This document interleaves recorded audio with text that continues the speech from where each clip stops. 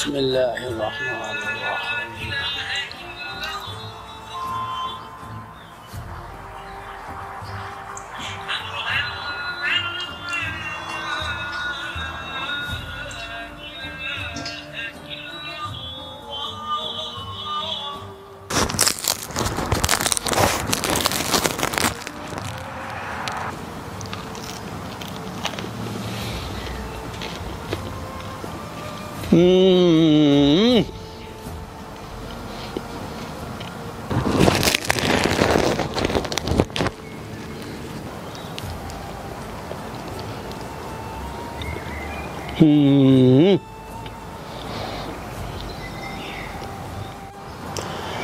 Ramazan pidelerim çok güzel olmuş.